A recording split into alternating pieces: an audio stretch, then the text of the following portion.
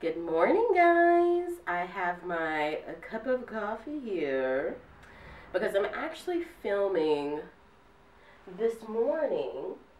And usually I film, it's actually bizarre now that I think about it. Usually I film in the late afternoon, like sort of, or at night. So I feel like this is the first time I've, I've ever filmed in the morning. Good morning. um, I have my cup of coffee so I actually was just about to get started on work for the day. For that, those of you who don't know, I actually work in advertising and I work from home. Um, so I have clients and I basically just have to fulfill different marketing projects and stuff like that. Before I get to work, I wanted to hop on here and talk a little bit about Sam Asghari because I just keep hearing these little digs. Oh, by the way, I hope you guys had a great Valentine's Day. Um, so this is the thing that I cooked yesterday that I told you guys about when I said I was going to make something sweet. Um, and hubby really liked it. I don't know. Have you guys ever seen my husband? I'm going to, okay, this is my husband. Um, as I said in another video, he's Portuguese and we live in Paris. Um, but I actually found the inspiration from my hubby today to talk about Sam Asghari because I think what's happening here, like there's loads of distrust of, of Sam Asghari from Britney Spears fans. And this is going to be a quick video today because it's really straightforward what I want to say. There's loads of distrust from Britney Spears fans around Sam Asghari and people who just are trolls around Sam Asghari. And um, I know that he is not um, from the U.S. I know that he grew up in the U.S., but I know that he's from Iran. Now, as someone who has a good friend, a good uh, manager in the past that I know personally, who's Iranian, um, and I know little glimpses of the culture. She actually married a German guy. Um, and I also am married to a foreign person. I think I can speak a little bit on the subject of where Americans, and I'm gonna try my best not to be um, mean or offensive here, okay? But um, as I've said, even though I live in France, I love the U.S., love my country of birth, really proud of where I come from, all good, all Gucci. Um, but I do think sometimes Americans, in comparison to perhaps to other cultures like Europeans or even Middle Eastern people, people even uh, African people, can be less well traveled. And, and they can be really well traveled around the US, you know, nationally, because the US is so huge. I was literally talking to my husband yesterday, and what were we watching? We were watching um, Forrest Gump. we were watching Forrest Gump. That was our Valentine's Day movie night uh, thing. So really, really cutting edge Valentine's Day date, guys. But we were watching Forrest Gump, and I was talking about how Jenny, you know, there's this part where they talk about how her father basically says her. And I was saying, oh my God, I just sometimes I think about that, you know, the, the, the rampant problem that the U.S. has with childhood and uh, child and child child P, you know. Um, and I was like, sometimes I really am so ashamed that that's that's my country. And he's like, babe, that happens everywhere. And the U.S. is so huge that you know the U.S. is basically the size of Europe. So when you think about it, you know those cases probably occur with the same sort of proportionally. It makes sense. And I was like, yeah, you're probably right. Um, but thinking about that, literally, I mean, really morbid topic to sort of bring us to this point, but thinking about the fact that the U.S. is so big, you know, Americans can afford to not travel to other countries, you know, and still be very well traveled nationally within the U.S. And so what's happening is I think that since Americans generally don't travel as much as people from other countries, necessarily. Um, we get into this wind tunnel thing, and where we don't recognize the attributes of other cultures and you know how other cultures are what what their practices what their characteristics are and so i feel when that happens we sort of just you know and i think we're all capable of a certain level of bias a certain level of just sort of like glossing over stuff you know our brain sort of simplifying stuff so that we can just get over it. And I think a lot of times Americans are just like, your brain just labels someone foreign, you know, foreign, and that's it, you know. And, and, and I'm not saying that people are being racist or xenophobic, but I do think that there could be a bias in the way that people judge Sam Asghari around his culture. And I also think that um, people are just very, very, um, even people who troll Britney themselves they can still be very um, possessive of her. You know, I mean, America is a possessive country. It's like it's mine, it's mine, it's mine, it's mine. and it's like, guys, calm down, calm down. It's okay. Um, so yeah, I think I think there's a certain amount of sort of possessive nature to this. It's like Britney's mine, and Sam, you can't have her. You know, the other part is I feel like people are judging him because they don't understand his culture, okay? And so I want to let you guys know that Sam Asghari, you know, he moved to the U.S. when he was 12 from Iran. And it's really funny. He talks about literally helping him learn to speak English, you know, watching Hannah Montana.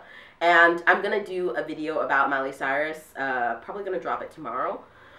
Um, but I, I want to talk about that, but that's another subject. But he talks about how he, because when he moved, he was 12. So he was basically moving into his teenage years. And why not use a, a Disney show, a American token of culture to sort of help boost your English? He was taking English courses at school. Um, I think he has two sisters. He has pretty normal mom and dad. Um, and um, what else? He he was into sports when he was young. He was always a very kind of like masculine kid. He did the police academy. He was playing basketball and stuff. And then his sister helped him segue into modeling. And um, he's done modeling, he's done acting, and he's always held personal fitness as a really big thing for himself. Um, and Britney Spears, you can just see the chemistry between the two of them. If you don't, I don't know, but you know, you can see that they really love each other, and she um, says he's really, really funny. Um, clearly, there's love there. Now, I feel like what I need to speak on is someone who's married to a foreign person.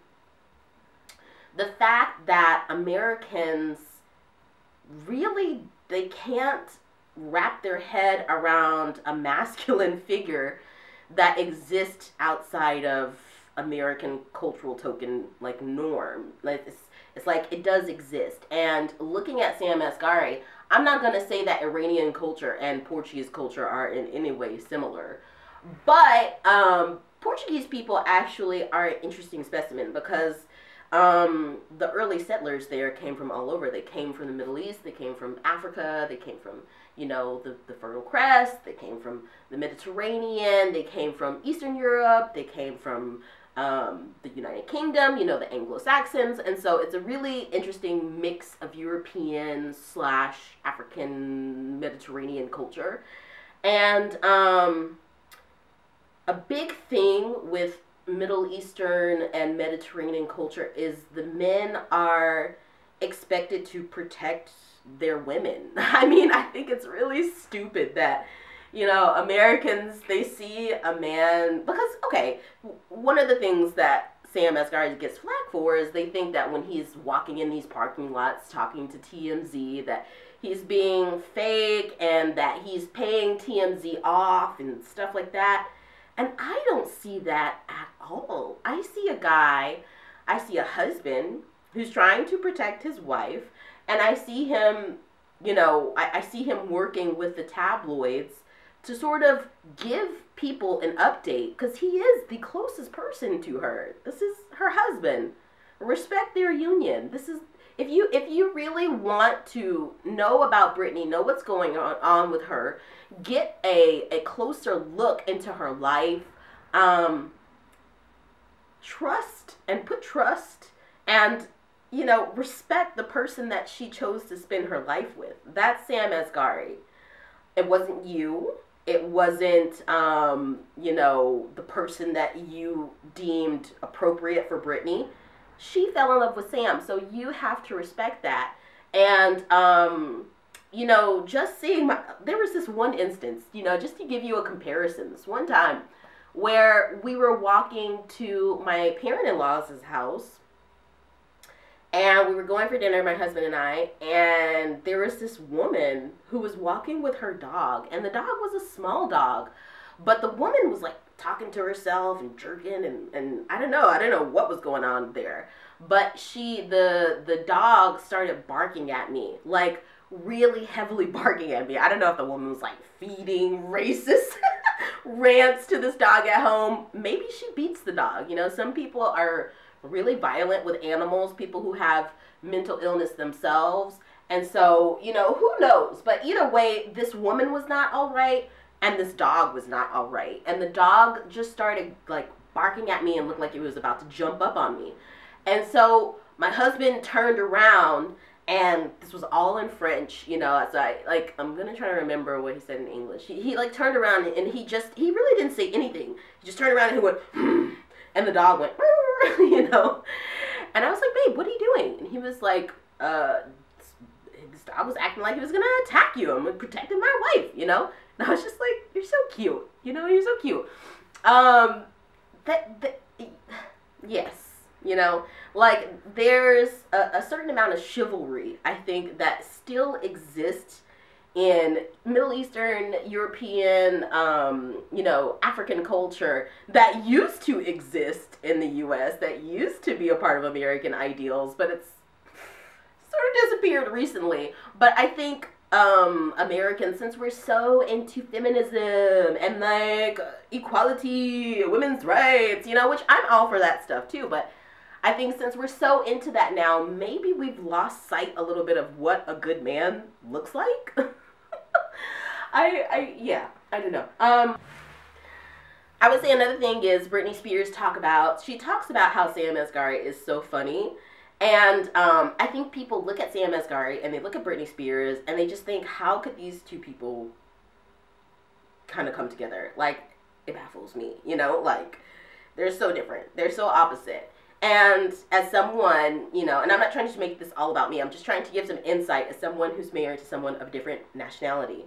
Um, well, of a different a different ethnicity, I'll say, because they're both American, but of a different cultural, uh, of a different origin. We'll say that. Um, opposites attract, guys. It, they really do. And, you know, Britney Spears and K-Fed, we saw how that fell apart terribly. You see how he's giving interviews with uh, 60 Minutes Australia, um, basically throwing Britney under the bus, and that has never, ever been Sam Asghari's MO if you guys take a close look, Sam Asghari has always been there behind Britney. So maybe this is the like slanted eyed phase. you know, you get on the train and somebody just like looks at you and you look at them and it's just like the the feud of the slanted eyes, you know. So maybe this is the slanted eyed like phase of just uh, you know, sizing up Sam to make sure he's worthy of Britney. Guys, you know, so anyway, opposites attract. And, um, you know, for example, Britney talks about how funny he is. Now, my husband's English is his uh, third language, actually. Well, he speaks Portuguese, French, English, and Spanish. Um, but the best, you know, he has the best grasp, I would say, on obviously Portuguese because that's his his mother tongue. Um, but then behind that would be English, and behind that would be French. So his English is very, very good. And similar to Sam Asghari, he learned a lot of English by looking at TV. Um, and sometimes his cute little Portuguese accent just comes out, you know, or his, you know, for example, in a in a a language based off of Latin, you know, like French or Portuguese or Italian. Um, there's a, a gender to objects, which that doesn't exist in English. So, for example, um, in French, a car, to say a car would be une voiture, which is feminine. In Portuguese, it would be um carro, which is masculine, you know? So there is this this prevalence often for people who speak a romantic language to when they're speaking English to call things her and him if they're talking about an object because their cute little, you know, Portuguese or French or Spanish brain or whatever just knows it that way.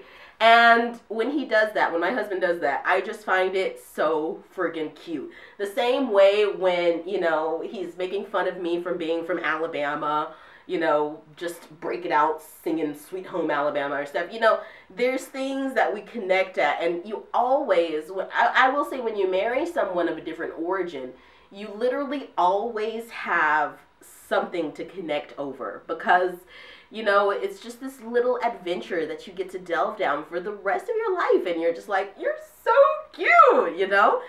Um, my husband, sometimes, you know, like people who speak a romantic language, uh, especially French and Portuguese, sometimes have a hard time saying H, like uh, H words, like health and helping. You know, it's like, I don't know. I don't know if those are the words, but, you know, it's like in French, um, you would just not pronounce the H. It just would not be there, you know. So um, sometimes that comes out as really, really cute. And I can just see Britney and Sam, you know, connecting over these things. And also in terms of um, personality types, you know, Britney is sort of like the artistic, creative side of the relationship, and you can clearly see that Sam is more conservative than her. Now, I'm not saying that Sam is like a, um, what's a good person to compare him to? Um, he's not like a Liam Hemsworth. We'll say that, for example. Liam Hemsworth is also someone who married an American uh, person, uh, TV personality. Well, we won't say TV personality, an American celebrity, and he is of a different origin, and he's way more conservative than Sam Asghari. At least I would say, you know, like, um, and that didn't work out. That didn't work out. That didn't work out. But um, as someone who is um, a creative type person who's married to someone who's more shy, who's more reserved, who's more laid back. Like that's just his personality. And usually those type of people when they're alone with people who they're really comfortable with, you know, it, it's you know, they they are so open, they're so loving, they're so um funny, you know. So I think people should just lay off of Sam Asghari. Stop accusing him as being the person who is um, Britney's uh, what do they call him?